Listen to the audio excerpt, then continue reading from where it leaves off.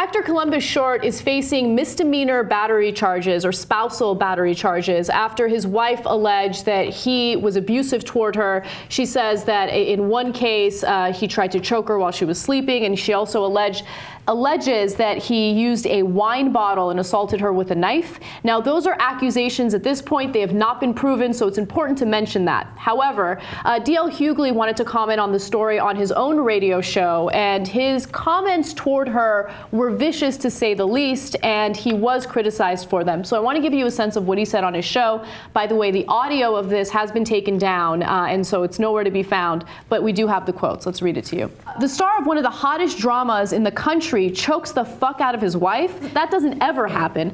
I don't think it happened first off, like the time Warren Sapp was getting ready to do the Super Bowl and some broad said that he raped her. There are just as many examples of women lying on men in the middle of divorce proceedings to get what they want as there are men who actually do anything. So that was the first part of it. Do you want to comment, Cenk, before I continue? Yeah. So I know people are super outraged, and as we're going to tell you, he wound up apologizing, and you'll see why. Uh, and I don't. I have no idea what happened that night between uh, you know the uh, Columbus Short and his wife or whatever.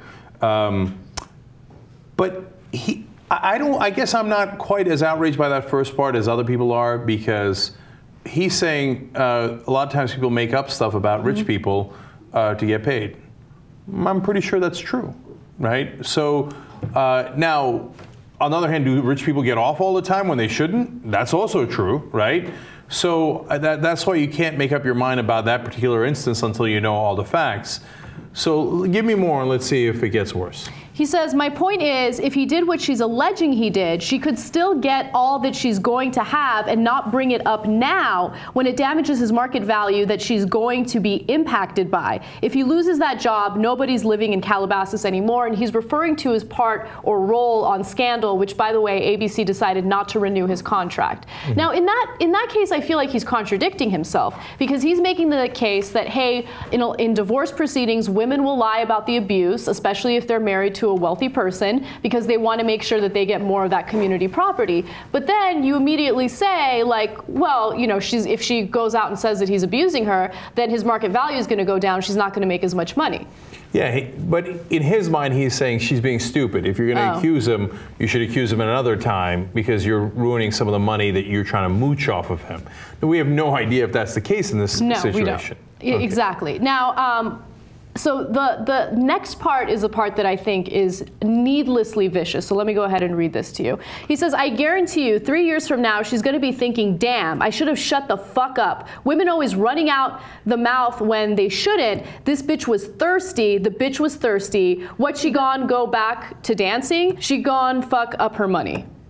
Okay, you wrote that really well. That was very authentic I'm reading. sorry, I don't, I don't speak that way. So like, okay, oh, is that right? Yeah. Okay. Um, so Okay, now look, he shouldn't have said this stuff because he doesn't know the situation, as he's about to admit later, and you have no idea. And as Ana pointed out, uh, it's not it's less likely that she would be making it up mm-hmm. because as he if she was a gold digger under his hypothesis uh, because it's not a good way to dig gold when you get a guy kicked off of the hit series that he's on, mm-hmm. right?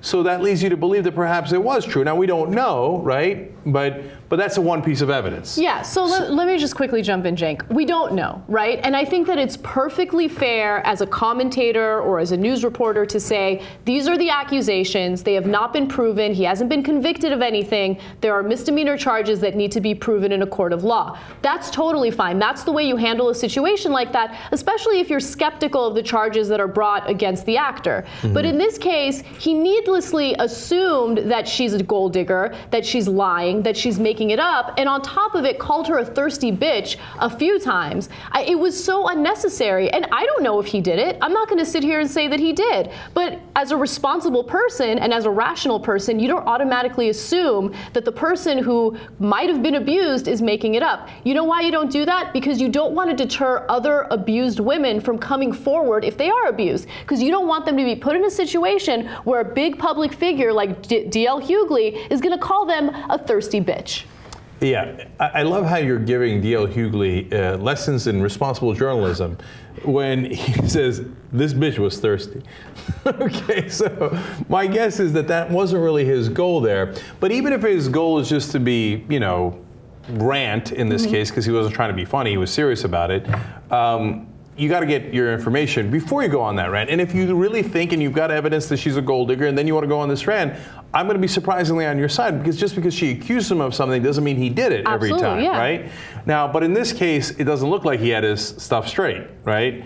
So then comes his apology. All right. So D.L. Hughley did uh, respond to those that were criticizing him, and he said this. First, he started off by saying, Look, if I had made these comments in a comedic context, then I would not apologize because it's comedy, and regardless of how biting it might be, you should have, uh, you know, the ability to make jokes.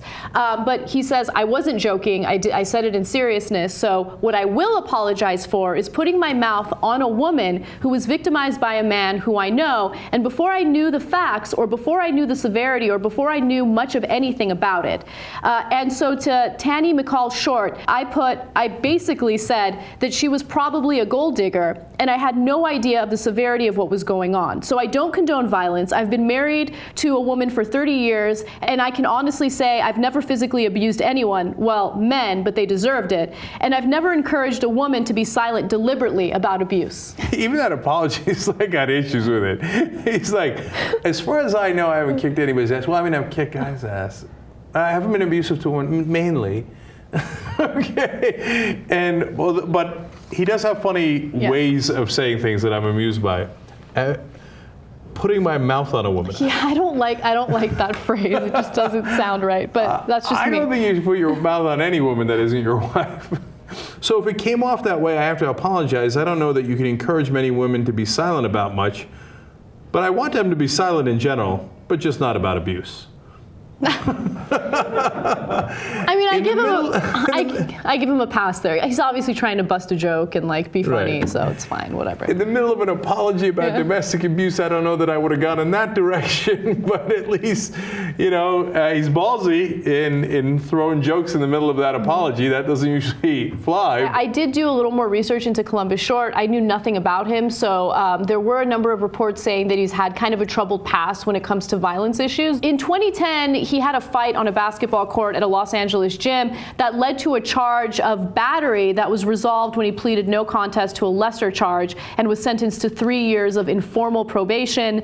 Then in February, uh, Short was arrested twice by police after his wife called to report that he was being abusive. He has pleaded not guilty to misdemeanor spousal battery. That's the case that we're referring to earlier in the story. In March, he was charged with felony battery after allegedly knocking a man unconscious in a West Hollywood bar fight and and faces uh, a May arraignment. And finally, three weeks ago, his wife accused him of threatening her with a knife during a fight, stabbing a couch as he pinned her to it, and threatening to kill her with the couple's two year old daughter in the house. She left, filed for divorce, and obtained a temporary restraining order. So if you look at all of those cases, there are a lot of charges, including misdemeanor and felony charges based on two separate events, but he's only uh, he was only convicted of one situation because he pleaded guilty to a lesser charge. So now, if you're in a court of law, uh, what the lawyers would say is, hey, you're supposed to judge him on the merits of this case, not mm-hmm. anything he might have done in the past. But the other prosecution could make a case for he has a pattern of doing this similar acts.